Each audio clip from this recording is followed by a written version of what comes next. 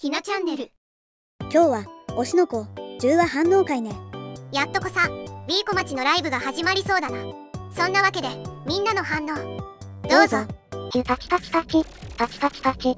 センターは重曹ちゃん。納得してなさそうな笑顔。なにこれ ?AV のインタビュー？かなさん怖いメムかわいい。ちょろくて流されやすい重曹チャンスコ。バレていら。ちょろいって自覚はあるんだねう。やばいバレてる。あれだけ低得点だったらそら積むやろなう。ルビーとメムチョソファーに正座してるの好き。そんな時有馬ちゃんが出した曲を見てあの歌を黒歴史扱いしちゃうのか。そんだけ黒歴史なのか。おしっこ漏れちゃうくらい売れなかった。おしっこ漏れちゃう。何にでも手を出して息もがくかなちゃん好き。これはマジで怒ってる。喧嘩しないで落ちろ落ちたな確信。アップ。でも最後に私たちの曲を聴いて、センターやっとるやないかい。サインは B。説得力のある歌唱。やっぱり有馬ちゃんセンターハマってる。なんか、音中。重曹ちゃんちょろかわ。なあもう、乗せられてしまう、重曹ちゃん。ちょろいすいませんちょろい一種。黒歴史を覆すほどのレベルだった。下手馬と音痴。重曹ちゃんちょろかわいい。重曹ちゃんも歌手活動では、色々と苦悩の時期があったようで、センターハマってる有馬かな。かなの動きかわいい。重曹ちゃんは流されやすい。また即落ちしてる重曹ちゃん。私たちの歌聞いてってのがそっちに作用するとはなう。なかなかにひどいサインは B 来たなう。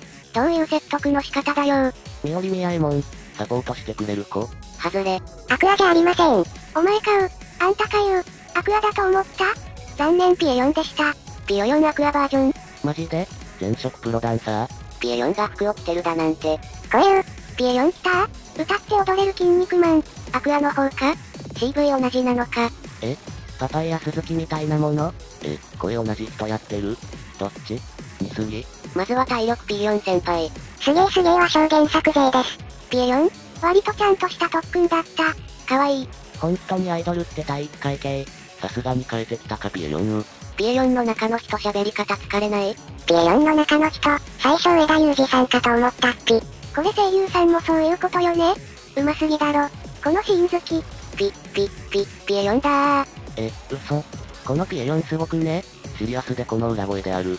ピエヨンさんの声に笑ってまう。ピエヨン？なぜジャージを？絵面がすごい。ピエヨンさんって呼び方になってる。ピエヨンの声真似う。ピエヨンのどの調子悪い？ダメだピエヨンしか見えないよ。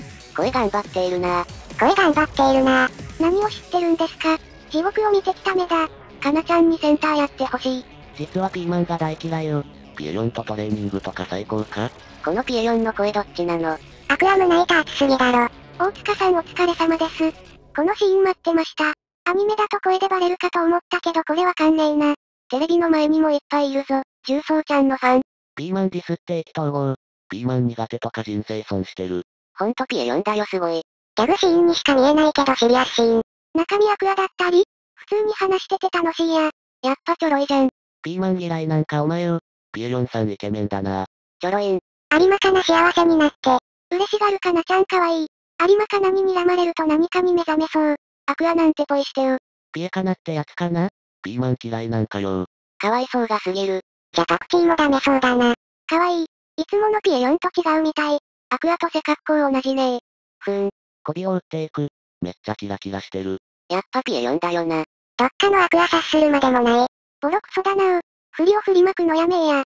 ガツンと言えよ。目の前だぞ。ケツみたいな口すんな。だいぶ年上。だいぶ年上メム長。年上なんだけど、好意が溢れとる。昔は天使と思ってたのピエヨンの正体は一体誰なんだバッチリ。このメメムチョ、まさかゲッター戦に？虚無る？虚無っちゃう。タイムパラドックスに突入。やっぱりか。お前アクアかよつまりあの裏声は、アイコン、ピーマンより主張強くて草。なんだこのムッキムキっぷり？本物ピエヨンめっちゃイケボじゃね。あ、中の人。電話の向こうが本物ショー。ピエヨンいい体でイケボ。ピエヨンさん、あれはアクアだったのか。うまいなりすましだな。ピエヨンの筋肉がたくましすぎる。そういうことかピエヨン。推しの子見てたらいつの間にかスパイファミリーになってた。ピエヨン、めっちゃええやつアクアだったの？アクアがあのアヒル声出してたってこと？ピエヨンの元の声イケボすぎだろう。睡眠の重要性。徹夜のダメージは3日続くのわかる。メムチョツの外せるのか。第5不正自由。アヒルコ LB に一生笑われるぞ。ほんと睡眠は大事っす。何このピーオンピエヨンの元の声こんななのか。ルビー、前世のことを語り始めた。目が死んでる。前世の話はね、サリナちゃんよかったね。まさか、後に愛さんの子供になるとは思いませんでした。規制にピヨは笑ったう。今の兄である。初恋相手もいません。あなたのお兄ちゃんです。ゴローイケメンだな。ルビーちゃん。先生はもう、近くにおるぞ。悪い、泣くわ。そう考えるとえなりかずきってすごいよな。推しのいる生活はいいまじそれな。その初恋の人がアクアなんだよな。ルビーには絶対報われてほしい。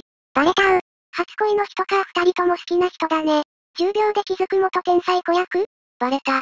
アクアの飲み方が完全に缶ビール晩酌してるおっさんう。用意周到なアクアが即バレとは珍しい。見ちゃういけないものを見てしまったみたいなう。この表情たまらんな。有馬かな感を聞きました。有馬かなめんどくさかわいいな。レインボーブリッジ。やってきました。元気なルビーとメムチョ。眠れなかった有馬かな。ルビーちゃんの足に目が行く。ラブライブみたいになってる。本日の見バレイベント。やっぱりちゃんと寝ないと実況民へ。寝てないんかい。言い出しっぺが一番失敗してる。気になってるやつ。アクアカナちゃんのこと好きすぎだろ。重曹ちゃん寝れなかったのかわいい。ギスギス現場だこれ楽屋じゃねえだろう。仮眠取れない。大部屋楽屋。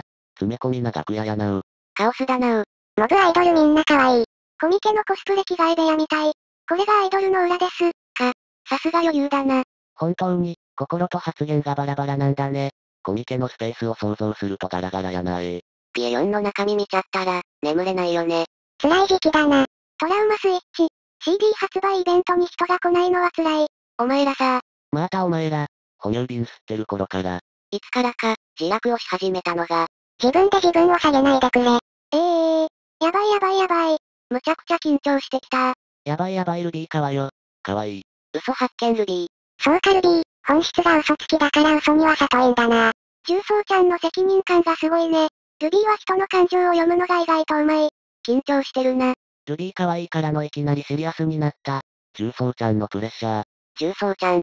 責任感の強い女。有馬かな好きだ。回想シーンがきつすぎるんよ。TDN 新人アイドル。一人じゃないから怖い、か。このシーン、背景も含めてめっちゃいいな。ルビーいいやつ。